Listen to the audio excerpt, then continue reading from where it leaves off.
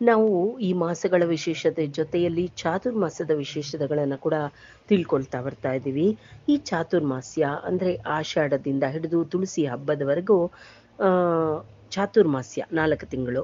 ಏನೇನು ಕೊಡಬೇಕಾದ ದಾನಗಳು ಅಂತ ತಿಳ್ಕೊಳ್ಳೋದಾದ್ರೆ ಸಾಲಿಗ್ರಾಮ ದಾನ ಗ್ರಂಥದಾನ ಪ್ರತಿಮಾ ದಾನ ಭೂದಾನ, ತಿಲದಾನ, ಸುವರ್ಣದಾನ, ದ್ರವ್ಯದಾನ, ಧಾನ್ಯದಾನ, ಉದಕುಂಭದಾನ ಛತ್ರಿದಾನ ಪಾದರಕ್ಷಾ ದಾನ ಲವಣದಾನ, ನಲ್ಲಿಕಾಯಿ ದಾನ, ಧನದಾನ, ಘೃತದಾನ, ದೀಪದಾನ, ಶಯ್ಯಾದಾನ.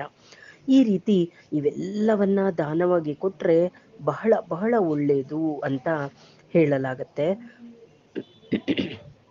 ಅದರ ಜೊತೆಯಲ್ಲಿ ಭಗವಂತನಿಗೆ ಒಂದು ಭಗವದ್ಗೀತೆ ಒಂದು ಶ್ಲೋಕವನ್ನಾದರೂ ಕಲಿತು ಪ್ರತಿದಿನ ದೇವರಿಗೆ ಜ್ಞಾನ ಪುಷ್ಪ ಅಂತ ಸಮರ್ಪಣೆ ಮಾಡೋದು.